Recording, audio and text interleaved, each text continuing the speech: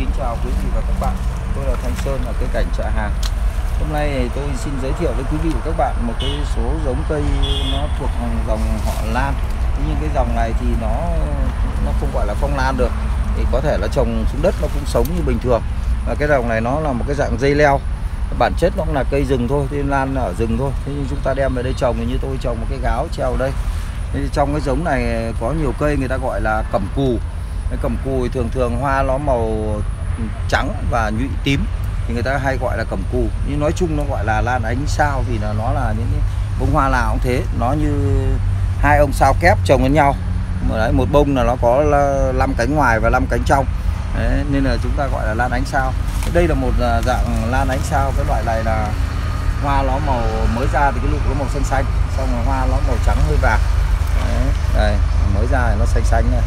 Thế trong khi đó thì cái loại lan ánh sao nó có rất nhiều loại. Ví dụ như cái cây này ấy thì nó chưa ra hoa nhưng mà sắp sửa mùa tới ra hoa. Cây này thì hoa màu hồng mà nó nhỏ nhỏ hoa nó nhỏ hơn cái hoa đấy một chút.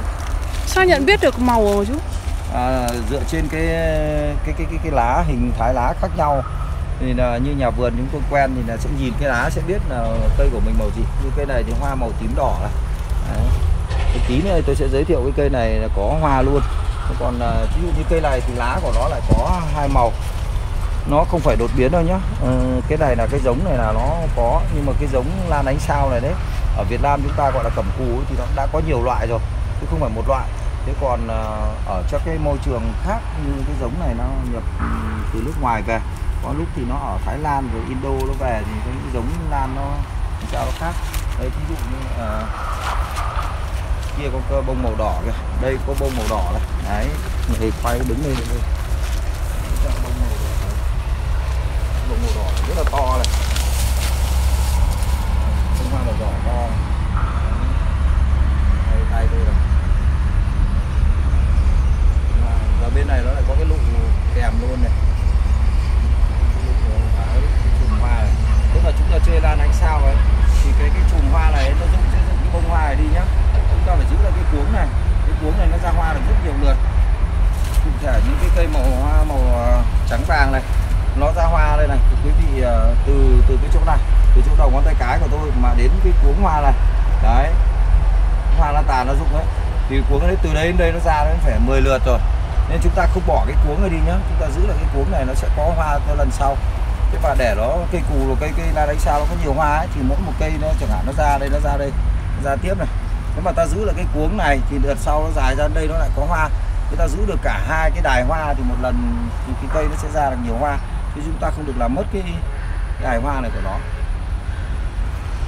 Ở trong khi đó thì có cái loại lá nó tròn như này. Đây cũng là hoa màu trắng tím. Nhưng nó sẽ dày hoa nó dày và to hơn. Đấy, cái lá này nó tròn.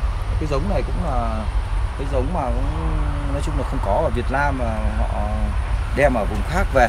Chúng tôi cũng nhập về nhưng mà nói nguồn gốc thì nó không hoàn toàn chính xác đâu. Thì là nhiều lúc là người chúng ta cũng không lấy làm gì làm cơ sở để nói chứng minh là nó ở vùng nào.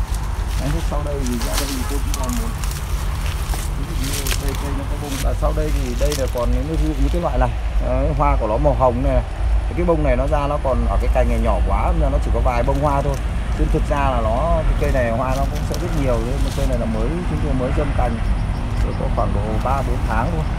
Đấy, thì cái cành nhỏ nó chưa có được nhiều hoa những cái giống này là một màu hoa khác. Xin chân thành cảm ơn quý vị và các bạn. Xin kính chào và hẹn gặp lại.